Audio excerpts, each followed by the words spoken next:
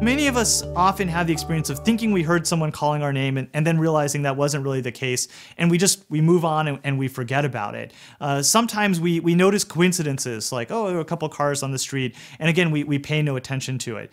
But for someone with schizophrenia, these experiences uh, take on a, a vastly different uh, kind of uh, feeling. So you might notice oh there were three red cars on the street, and instead of just forgetting about it, you start thinking well why were there three red cars on the street? Maybe it has something to do with me maybe these people are, are actually coming to, to monitor me or do something that, that would harm me. And you start working through some kind of plot or conspiracy related to that coincidence that you noticed. The symptoms that people are most familiar with in schizophrenia are often hearing voices or, or having paranoid delusions and paranoid thoughts. And we now know that in addition to those kinds of symptoms, many people with schizophrenia have, have trouble focusing, paying attention, and remembering things many people, you know, uh, talk about hearing voices and mean different things. So sometimes people will say, "Oh yeah, when I'm thinking about what to do, uh, I hear a voice in my head that tells me this would be the right thing to do, or this would be the wrong thing to do, or or that gives me an idea." And when Individuals with schizophrenia talk about hearing voices, they describe it very, very differently. It's really a voice that, that they can't tell the difference between that voice and, and a voice coming from a, a person sitting right next to them in a room. And it sounds absolutely real. It sounds, you know, loud. Uh, sometimes it's so loud that they, they can't stop paying attention to it. And sometimes the voices are just calling their name, but sometimes the voices are saying much more complicated things. Sometimes they're, they're giving them commands, telling them what to do. Sometimes they're commenting on what they're doing, often in a negative or derogatory way.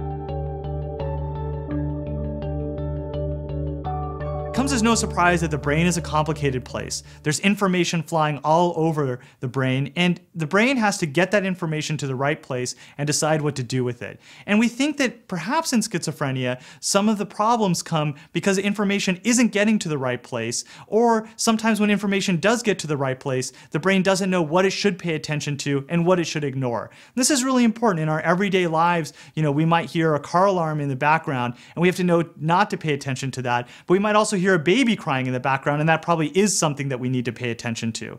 And so if your brain's not able to act uh, as an executive and say, this is what's important and this is what's, what's not important, it becomes very difficult to sort through those everyday situations uh, in ways that are really important for living and holding down a job or managing your life. Seeing things, visual hallucinations, are more uncommon in schizophrenia. They do sometimes happen, and sometimes they take the, the form of people seeing ghosts or seeing people who aren't really in the room. Sometimes they uh, look at a picture uh, and they see something more than what the picture shows, uh, often something with nefarious intent.